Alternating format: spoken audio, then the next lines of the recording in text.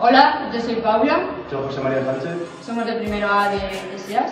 y os vamos a hablar sobre las carreras de relevo. En la carrera de relevos se va a utilizar el testigo, que es esto, que es una barra cilíndrica de metal o de otros materiales, en la cual eh, tiene una longitud de 30 centímetros y un peso de 50 gramos. En la carrera de relevos van a participar cuatro personas por equipo y como es una carrera de velocidad, van a ser en 4 por 100 o 4 por 400.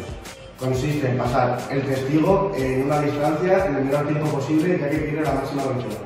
Dependiendo de si la carrera es de 4 por 100 o 4 por 400, los corredores esperarán al portador del testigo en diferentes zonas de la pista.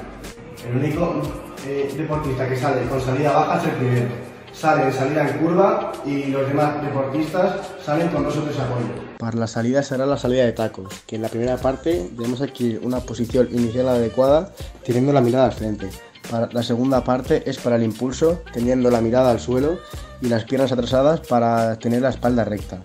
Y la tercera parte para el desequilibrio del cuerpo, echándonos, dejándonos caer hacia adelante. Hola chicos, yo os voy a hablar de las diferentes formas que tenemos de entregar el testigo. La primera forma que os mostramos es la más sencilla y la que se suele utilizar para enseñar a los más pequeños.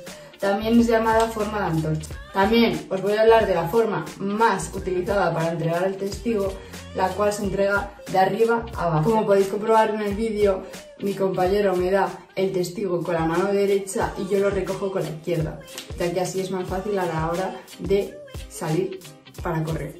Luego tendremos la otra opción, que es de abajo a arriba. Como estáis viendo en el vídeo, es una de las más difíciles también de hacer y más fáciles de que se te caiga el testigo. En esta fase, para entregar el testigo, aplicaremos la misma coordinación de brazos y piernas para entregarlo, como en la anterior.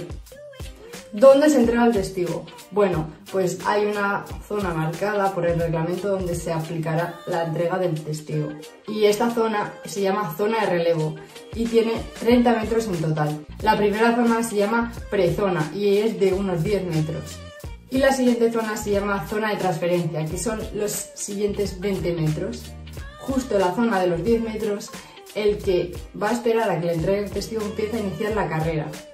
Luego ya la zona de transferencia es durante los 20 metros, es donde tiene que entregar el testigo. Y ahí se juntan el que entrega y el que espera el testigo para que en esa justo 20 metros tengan que entregarlos.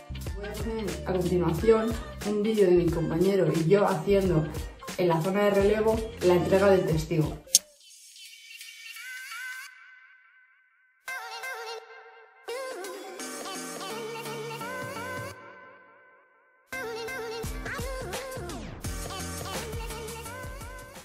Después de este ejemplo, me gustaría que vieseis un ejemplo real hecho por un atleta profesional, así que dentro vídeo. Hasta aquí nuestro vídeo de las carreras de relevos. Espero que os haya gustado y quedado claro cuál es la técnica.